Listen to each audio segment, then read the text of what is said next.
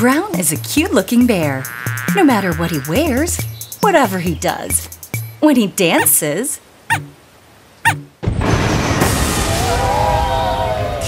and from everywhere. The right side of Brown's mouth is longer than the left. It could be because he was born like that, or he gets angry easily, or he feels lonely a lot. Or otherwise, could it be because he worked hard on his martial arts training? Uh, whatever.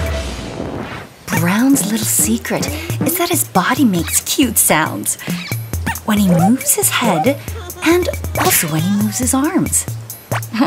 That's very cute. Brown likes to make many things, so he works hard in his secret garage all the time.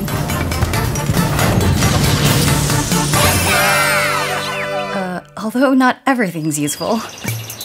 Brown often gets struck by lightning. And when he does, he turns into an enormous Mega Brown and messes up Line Town.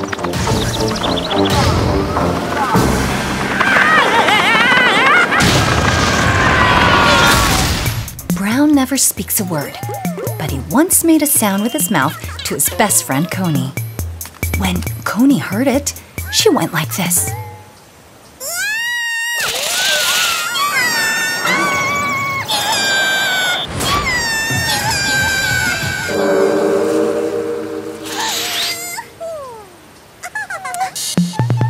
Wonder what he said.